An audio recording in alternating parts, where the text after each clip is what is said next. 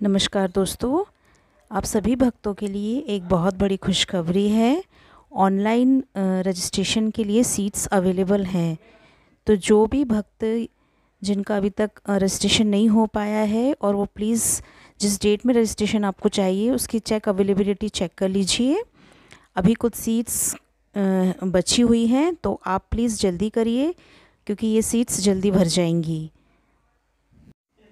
आप में से जिन लोगों ने अपना मेडिकल सर्टिफिकेट बनवा के रखा हुआ है और अपना फ़ोटो स्कैन करके रखा हुआ है, उनके लिए इजी हो जाएगा। तो प्लीज़ आप जल्दी ऑनलाइन रजिस्ट्रेशन करवा लीजिए।